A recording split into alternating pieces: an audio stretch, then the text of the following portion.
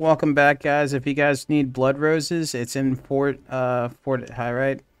There are just these red roses right here, and this is like one of the only places they grow, I think.